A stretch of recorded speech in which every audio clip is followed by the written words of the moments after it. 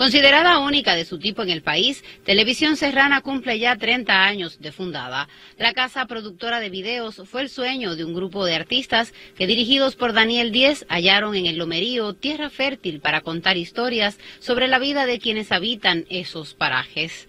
Ellos revolucionaron modos de ver y asumir costumbres campesinas, contribuyeron a solucionar problemáticas comunitarias y sin apenas notarlo se convirtieron en familia de esta gente sencilla que les admira y se enorgullece por tenerles en su vecindad. Se hizo un, vínculo con la, comunidad, eran muy queridos la, televisión serrana, los trabajadores incluso todavía se extraña a personas, a Daniel Díez se extraña, a los fundadores, a los, a los profesores que vinieron. Enclavada en plena cordillera de la Sierra Maestra, esta institución atesora centenares de premios y alrededor de 800 obras audiovisuales.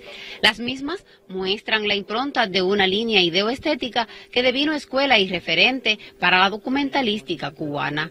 Daniel nos decía que las carreteras que un día se habían hecho para subir a la montaña, podían servir para bajar de la montaña si no se le daba una dimensión cultural al desarrollo.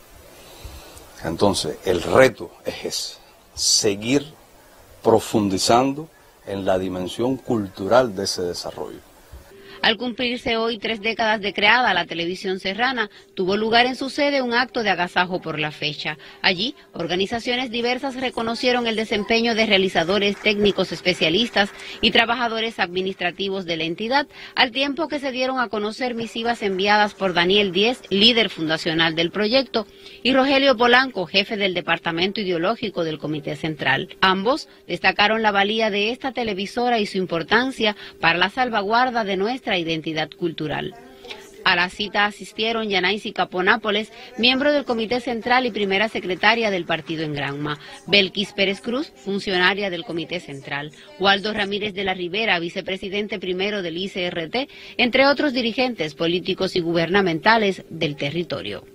En Granma, Jacqueline Pérez, Sistema Informativo de la Televisión.